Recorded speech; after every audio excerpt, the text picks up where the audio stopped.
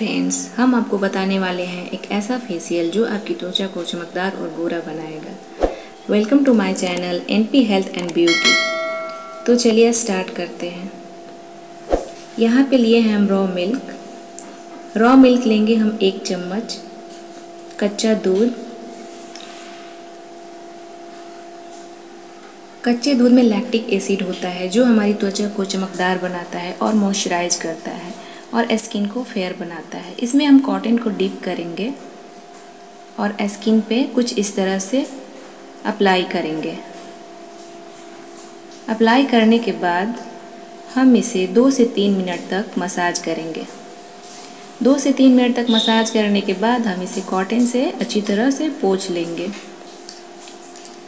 तो हम यहाँ कॉटन से अच्छी तरह से इसको पोछ लिए हैं। अब फेशियल का दूसरा स्टेप है स्क्रब का। स्क्रब के लिए हम यहाँ पे लिए हैं ओट्स ये दो चम्मच ओट्स है। और इसमें हम मिक्स करेंगे मिल्क तो एक चम्मच हम इसमें मिल्क ऐड कर देते हैं। हम उतना मिल्क करेंगे जिससे ये अच्छी तरह से मिक्स हो जाएगा। दोस्तों ओट्स में एंटीऑक्सीडेंट होता है जो स्किन को कील मुहासों से बचाता है।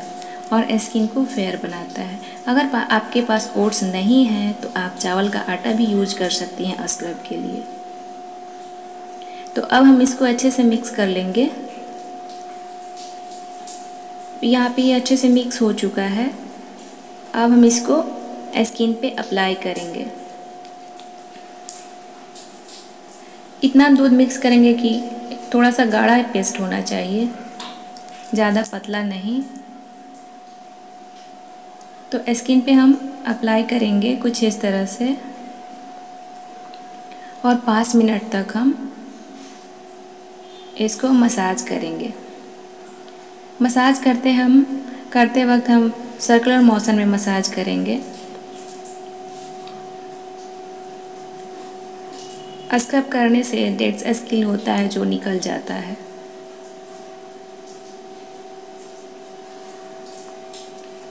मसाज करने के बाद हम इसे गुनगुने पानी से धो लेंगे और पोछ देंगे। पाँच मिनट हो चुका है। अब धो लिए तौलियों से पोछ लेंगे अच्छी तरह से। फेशियल का दूसरा स्टेप है मसाज क्रीम।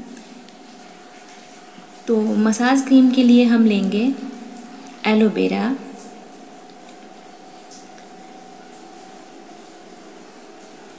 यहाँ पे एलोवेरा हम प्लांट वाला ले रहे हैं।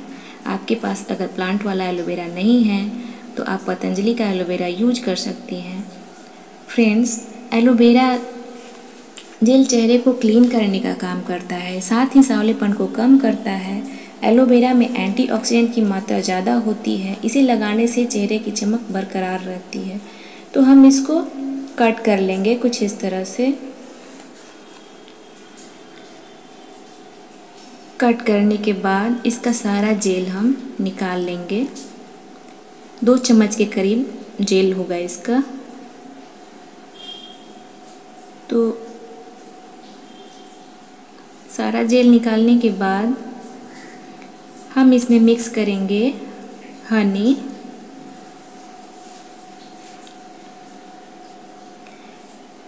ये जेल निकालने का सबसे आसान तरीका है। चाकू के हेल्प से इसको पूरी अच्छी तरह से हम जेल निकाल लिए हैं।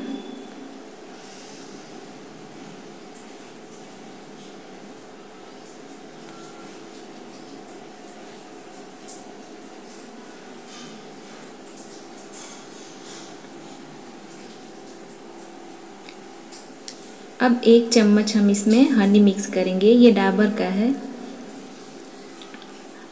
आप जो भी लेना चाहते हैं, वो ले सकते हैं।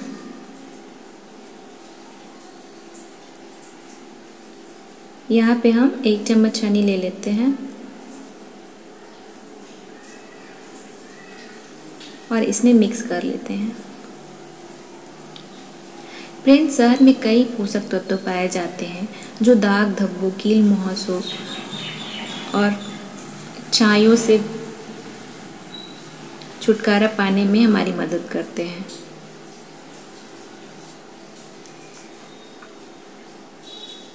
मिक्स करने के बाद हम इसको स्किन पे अप्लाई करेंगे।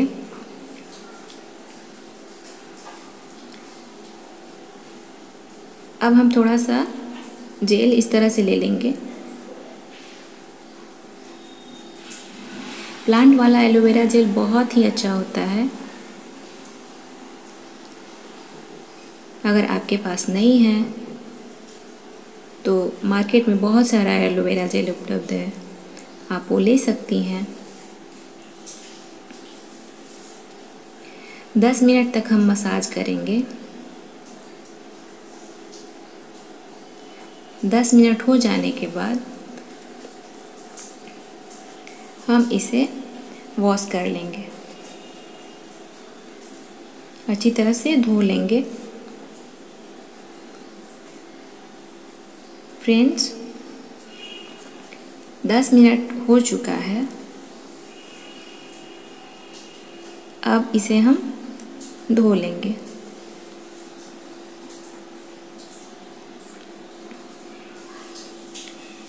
धोने के बाद ये कुछ इस तरह का स्किन दिख रहा है। आप देख रहे हैं, इस पर ग्लो आ रहा है। अब फेशियल का लास्ट स्टेप है पैक का तो हम यहाँ पे यूज़ कर रहे हैं चंदन पाउडर ये हंड्रेड परसेंट नेचुरल है। तो यहाँ पे हम लेंगे एक चम्मच चंदन पाउडर चंदन पाउडर हमें सनबर्न से बचाता है और स्किन को ठंडक प्रदान करता है। और इसमें मिक्स करेंगे हम रोज़ वाटर ये डाबर का है।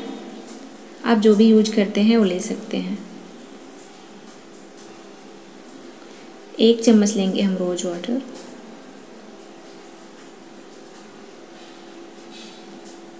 और मिक्स कर लेंगे। और थोड़ा सा इसमें रोज़ वाटर डालते हैं। और अच्छे से मिक्स करते हैं। अब इसमें हम रॉ मिल्क डालेंगे। एक चम्मच। और अच्छे से मिक्स कर लेंगे।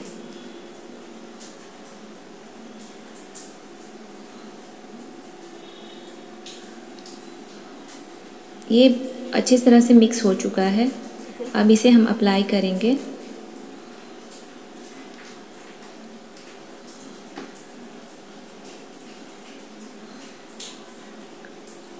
हम कुछ इस तरह से अप्लाई करेंगे।